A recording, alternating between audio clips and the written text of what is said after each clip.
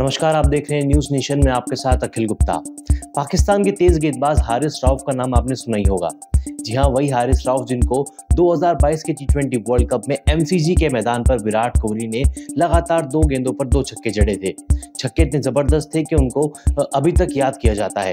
उन्हीं हारिस राउफ से जुड़ी एक बड़ी खबर सामने आ रही है। हारिस राउफ का अपने ही क्रिकेट बोर्ड, यानी कि पाकिस्तान क्रिकेट बोर्ड पीसीबी से एक बड़ा विवाद हो गया है।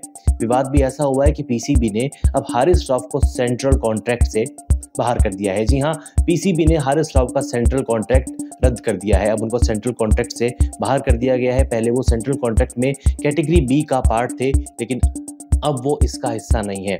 ये फैसला इसलिए लिया गया क्योंकि हारिस राव ने दिसंबर और जनवरी में ऑस्ट्रेलिया दौरे पर जाने से मना कर दिया था। वनडे वर्ल्ड कप 2023 के बाद पाकिस्तान क्रिकेट टीम को दिसंबर और जनवरी में ऑस्ट्रेलिया के दौरे पर जाना था, जहाँ पर तीन टेस्ट मैच की सीरीज़ खेली गई थी। इस सीरीज़ के लिए हारिस राव का चयन भी किया गया था। लेकिन टीम में चुने जाने के बाद हारिस राव ने अपना नाम वापस लिया और कहा कि वो वर्कलोड मैनेज को करने के चलते इस सीरीज़ का हिस्सा नहीं होंगे। उन्होंने अपना नाम वापस लिया, लेकिन इसके कुछ ही समय बाद वो ऑस्ट्रेलिया में ही बिग बैश लीग खेलने चले गए। बिग बैश लीग में वो मेलबर्न स्टार्स की ओर से खेले थे। इसके बाद पीसीबी उनसे काफ़ी नाराज़ था क्योंकि आप ऑस्ट्रेलिया के लिए बिग बैश लीग खेलने चले गए, उन्होंने पाकिस्तान के लिए टेस्ट क्रिकेट खेलने से मना कर दिया था। इससे पहले हारिस राफ ने पाकिस्तान के लिए केवल एक टेस्ट मैच खेला है। पीसीबी इस बात से नाराज़ था और लगातार नाराज़ चल रहा था और अब सेंट्रल कॉन्ट्रैक्ट छीन लिया गया है।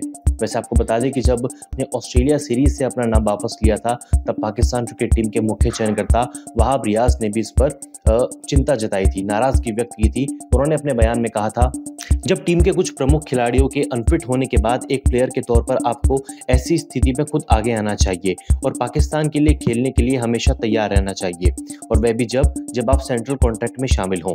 हारिस राव को सेंट्रल कॉन्ट्रैक्ट से बाहर करने के बाद पीसीसीआई ने एक ऑफिशियल स्टेटमेंट भी जारी किया। पीसीबी ने अपने बयान में कहा, पाकिस्तान के लिए खेलना किसी भी खिलाड़ी के लिए एक सर्वोच्च सम्मान और विशेषाधिकार है। किसी मेडिकल रिपोर्ट या उचित कारण के अभाव में पाकिस्तान की टेस्ट टीम का हिस्सा बनने से इनकार करना केंद्रीय अनुबंध का वास्तविक उल्लंघन है।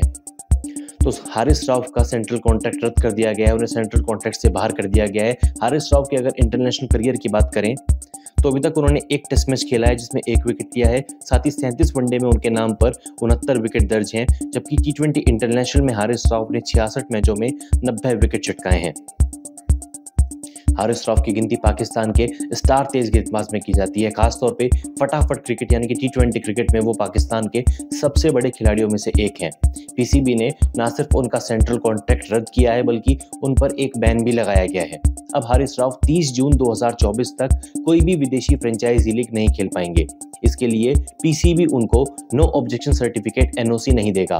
यानी कि 30 जून तक वो किसी भी विदेशी टी ट्वेंटी लीग में खेलते हुए नज़र नहीं आएँगे। हालाँकि 17 फरवरी से पीएसएल शुरू हो रहा है, पाकिस्तान सुपर लीग शुरू हो रही है। इसमें वो खेल सकते हैं, क्योंकि ये पीसीबी की लोकल लीग है। लेकिन उसके अलावा वो 30 जून तक किसी भी लीग का हिस्सा नहीं होंगे। तो हारिस राव को सेंट्रल कॉन्ट्रैक्ट से बाहर कर दिया गया है। वाकई में ये उनको बड़ा झटका लगा है और आपको बता दें कि ऑस्ट्रेलिया और पाकिस्तान के बीच जो तीन मैचों की टेस्ट सीरीज़ खेली गई थी, उनमें पाकिस्तान को तीनों ही मैचों में हार का सामना करना पड़ा था। इसके बाद ये विवाद और गहरा हो गया था कि अगर हारिस राव टीम के साथ होते तो तेज गेंदबाजी में थोड़ा अनुभव मिलता। इस खबर पर आपकी क्या राय है? कमेंट सेक्शन में ज़रूर बताएँ और इन्हें तमाम बड़ी खबरों के लिए बने रहिए न्यूज़ नेशन के साथ।